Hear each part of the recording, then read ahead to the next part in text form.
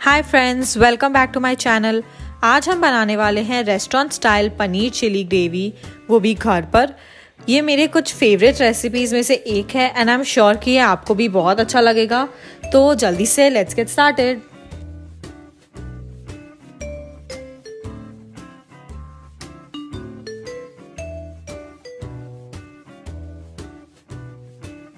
सबसे पहले हम 200 ग्राम्स पनीर लेंगे और उसे छोटे छोटे पीसेस में चॉप कर लेंगे।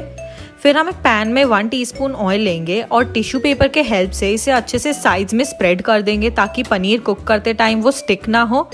ऑयल के गर्म हो जाने के बाद हम वन टीस्पून ऑयल और लेंगे और उसमें अपना चॉप्ड पनीर ऐड कर देंगे।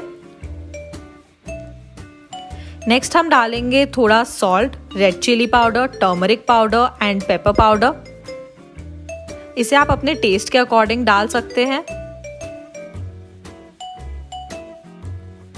फिर हम इन सबको अच्छे से मिक्स कर लेंगे और पनीर को टू मिनट्स के लिए हाई फ्लेम पे कुक करेंगे।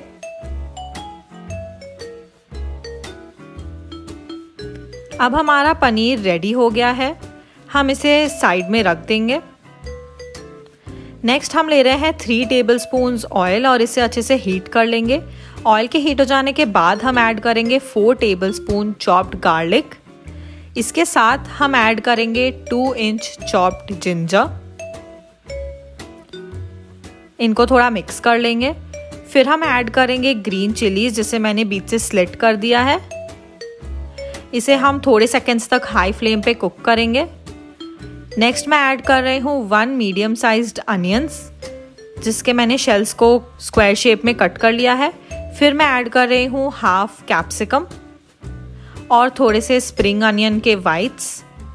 इन सबको हम अच्छे से हाई फ्लेम पे वन मिनट तक कुक करेंगे। नेक्स्ट मैं ऐड कर रही हूँ हाफ़ टी स्पून सॉल्ट और सॉल्ट ऐड करने के बाद हम इसे थोड़ी देर कुक करेंगे। फिर मैं ऐड कर रही हूँ three tablespoon schezwan sauce या chutney, one teaspoon soya sauce and one tablespoon red या ग्रीन चिली सॉस।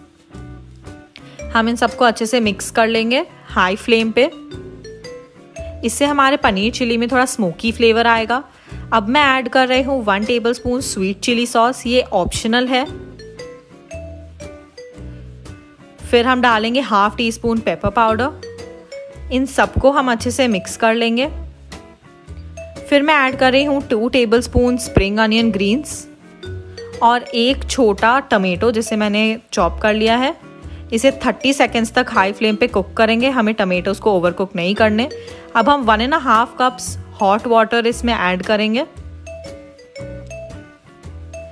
अब हमें इसे थोड़ा थिक करना है, जिसके लिए मैंने लिया है टू टेबल स्पून कॉर्नफ्लावर उसमें three tablespoon water add करके मिक्स कर लेंगे।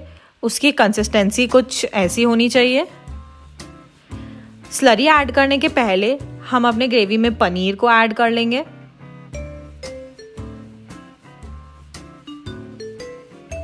पनीर को अच्छे से मिक्स करने के बाद हम थोड़ा थोड़ा करके अपना कॉर्नफ्लावर स्लरी इसमें डालेंगे और उसे मिक्स करते रहेंगे।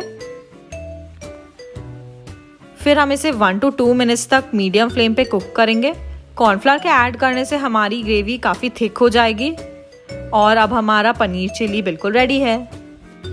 आई होप कि आपको ये रेसिपी अच्छी लगी हो। आप हमारे वीडियो को लाइक करें, अपने थॉट्स को कमेंट करें और अगर आपने अभी तक हमारे चैनल को सब्सक्राइब नहीं किया है तो हमारे चैनल को सब्सक्राइब कर दे ऐसे ही ईजी एंड टेस्टी रेसिपीज़ के लिए।